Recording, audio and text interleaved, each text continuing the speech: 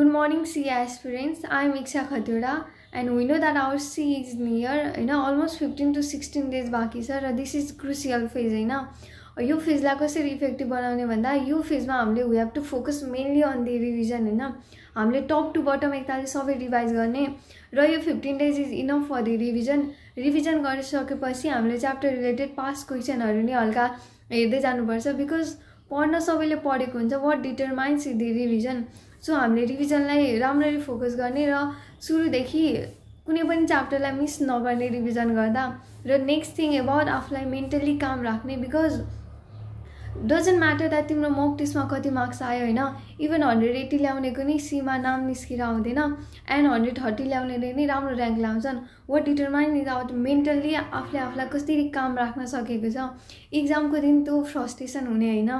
हुन्छ सबैलाई फ्रस्ट्रेसन हुन्छ तर जसले यसलाई ओभरकम गर्छ त्यो that those people are the winner होइन?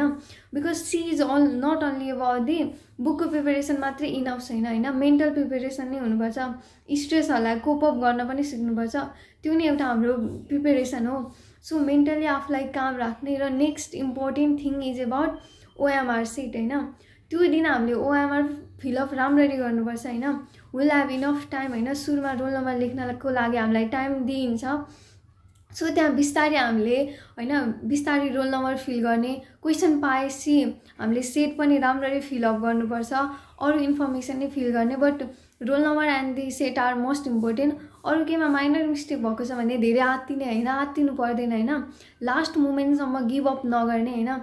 Even in last one minute we can fill the five bubble होइन सो लास्टसम्म गिभ अप गर्नु हुँदैन र बिचमा के हल्का माइनर मिस्टेक भयो भने पनि आत्तिने होइन आफ्नो बेस्ट कसरी दिन सकिन्छ र म्याक्सिमम् कसरी आफ्नो लाइक इफेक्टिभ वेमा म्याक्सिमम् कसरी आफ्नो फुल इफिसियन्सीले सिकिदिन सकिन्छ त्यसमा ध्यान दिने।